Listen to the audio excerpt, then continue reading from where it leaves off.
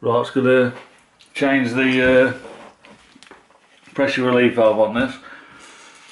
I just took all four screws out of the cover, so the cover will come off easy.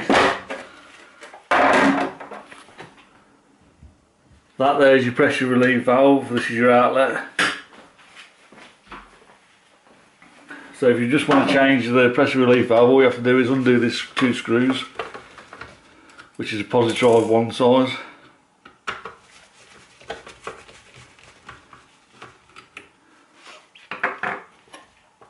And that's it, pulls free. That cover there is the re relief valve. If that opens, you have to buy a new one of them. So it'll be dripping out of there, dripping into your bath, but I think they're pretty cheap, about 8 quid or something. You'll know it because that'll have a hole in it and it'll be leaking, so just replace that bit. This one's alright. Pretty easy job.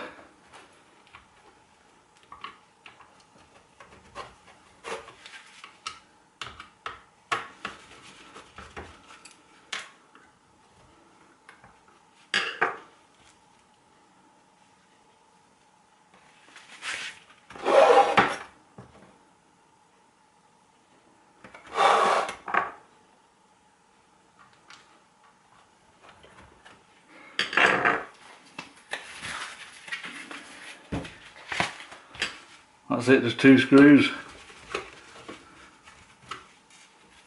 Be amazed at how many people want to change the shower because they think the heat has gone or some of the elements gone. When all it is is this gone.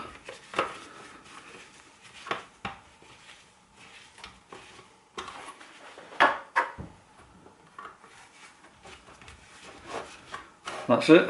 You want to change the outlet?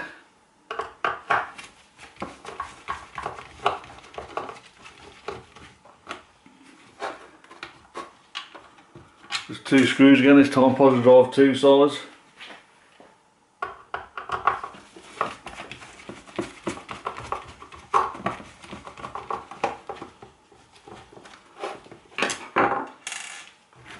Should just pull free. You got a little rubber washer in there, but just leave it in there.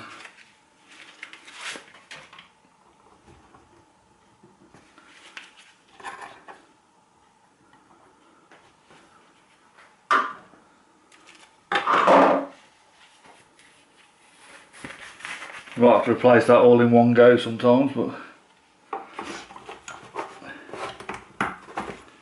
push it until it clicks.